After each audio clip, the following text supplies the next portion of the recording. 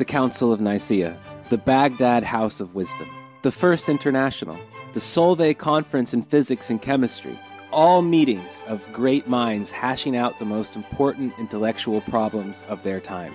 And if it please you, Boise's, allow me to add to this list the geniuses over at the O9A currently racking their brains over the state of their fragile union. We we find ourselves at a true crossroads here. I don't know why you're laughing. This is a, this is very serious stuff. We're at a true crossroads here, and one can only guess where we'll be when the dust settles.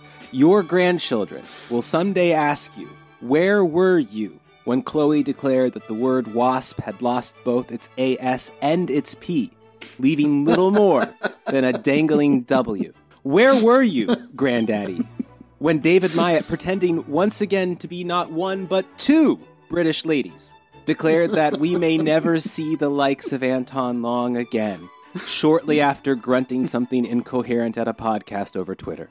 I know where I was, gentlemen. I was right here with you, doing the Lord's Yeah. work of exploiting dumb Nazi infighting for money. Not much money, but some money.